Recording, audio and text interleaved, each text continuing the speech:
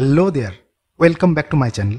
I'm going to start a new season or new playlist and in this playlist I'll be talking about Azure DevOps and DevOps technologies as we move on forward with the course. To get started with Azure DevOps, let me just explain you what is DevOps. There are many many definitions or articles out there you can read it out but in my simple opinion DevOps is a collaboration between your developers, operations team, test team, your managers and many other things and possibly in an automated way. For example, think of the old days. For example, there is a developer who has written some codes and they have tested it on their personal development machine or maybe laptop or something like that. Then they need a server maybe to host that. They had to reach out to IT team to procure a server, maybe a virtual server. Then the server team might reach out to some other team to get the storage, network and many many other things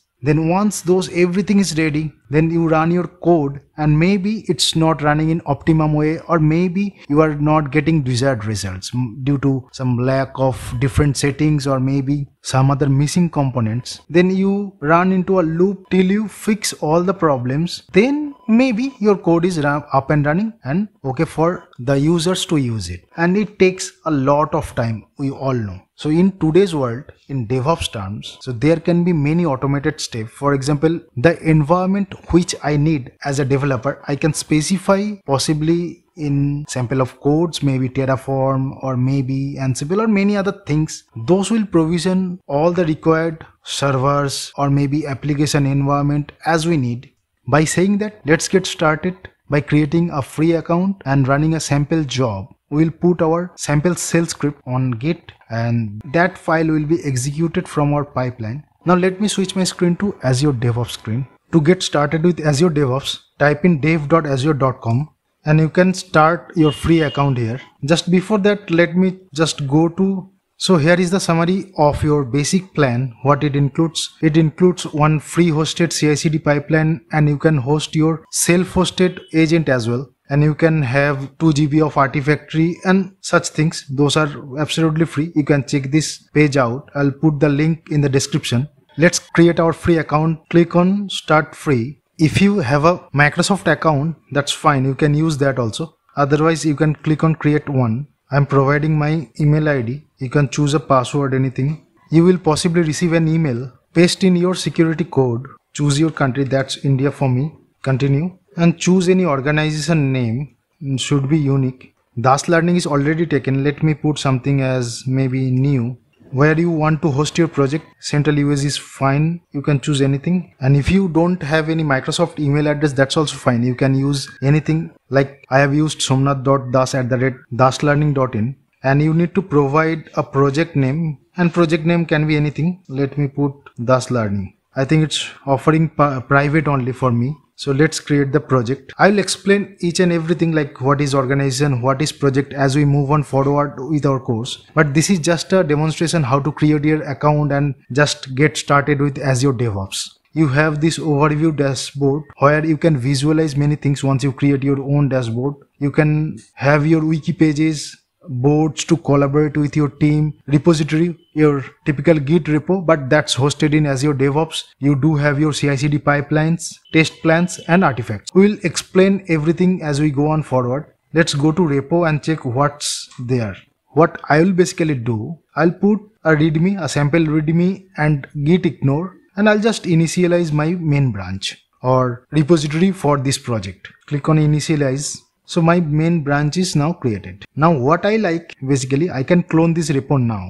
To clone this repo click on clone and this is your URL. Let me open my notepad. As this project is private to me so I need some kind of authentication. What you can do is you can click on generate git credentials. Just click on this. So this is your username. Username is not required but still you will need only personal access token which is coming in the password. And this is one time accessible. Once you close this screen you cannot get this value anymore but you can generate another token for that matter.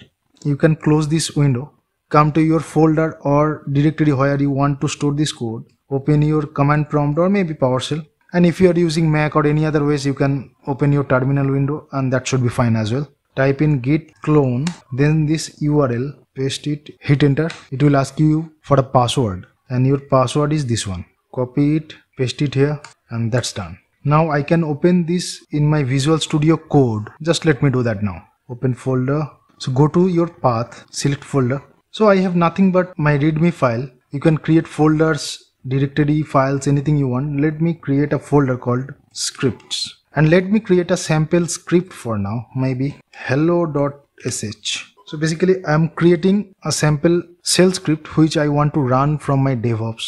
If you know Git, I am on my main branch and if I open terminal from this prompt as well, directory and file is there. What I can do is you can check git status if you have done any, uh, if I can spell it right, status. You see there is one untracked file in this folder so to add, I can type in git add dot. It will include everything that's in the directory or maybe where my entire git directory is located. Now I can commit something. Commit means you are saying your code is ready and you give one message to it. That's git commit hyphen m and I can put any message like first shell script. Commit is done. You can check your branch git branch I am on main. Now all the changes are made to the local. If I head back to my repo, if I even refresh it, nothing will be there. Only the readme will be there because I have not pushed code to Azure DevOps. To push it, just put git push origin main. So that means you are pushing your changes from main to origin main. That that means your cloud or DevOps, and it will ask you for password again. I need to give that password.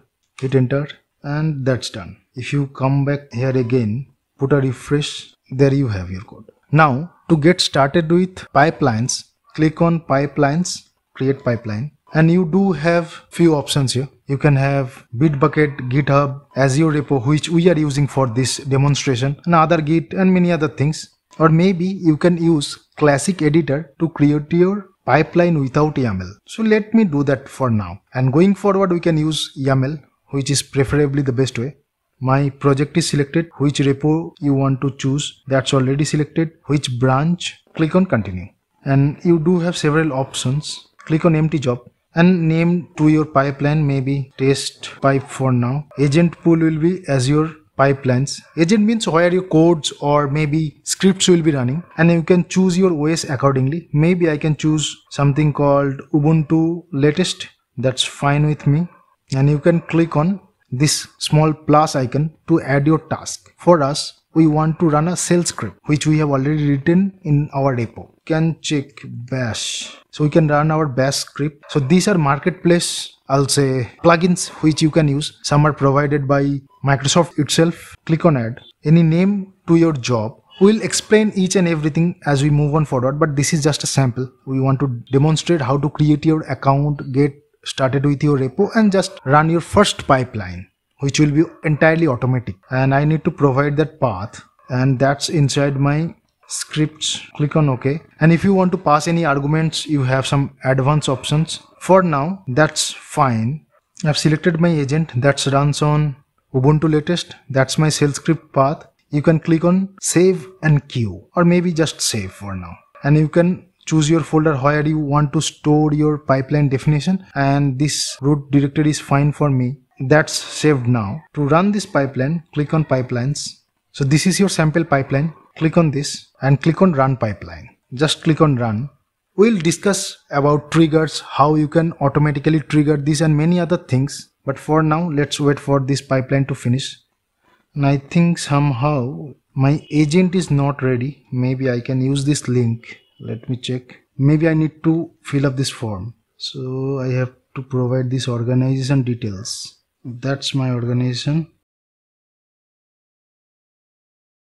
So I think I didn't get parallel job. Might be I'm using some custom domain name which is daslearning.in and possibly Microsoft is detecting this as a business account even after filling up the form. It is not allocating anything. But if you register with any Microsoft account, that means Outlook.com or maybe Gmail, I think then it should be fine. That that will be treated as personal account and possibly instead of zero, it will show one. Let me show you my original account, which I have created much earlier. So let me jump over to that window. I'm using my personal email ID, which is my outlook.com and you see free tier has one parallel job uh, if I go to pipelines ignore the old pipelines if you click on new pipeline the same stuff which I was discussing use the classic editor and master is fine go with empty job.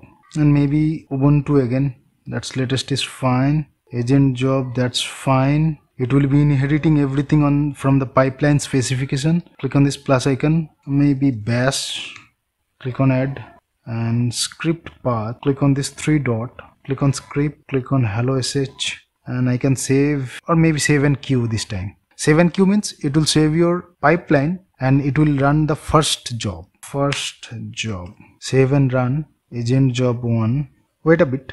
It got code from my repo. Now if I go to bash script hello world. So basically you can run anything. Be it python be it shell script be it terraform or maybe anything you want to run. And that's about it. We have learned the basic free account creation using your personal email IDs clone your repo then run a simple job. Thanks for watching see you in the next videos. We'll try to cover much into deeper devops knowledge in terms of azure devops. Thanks again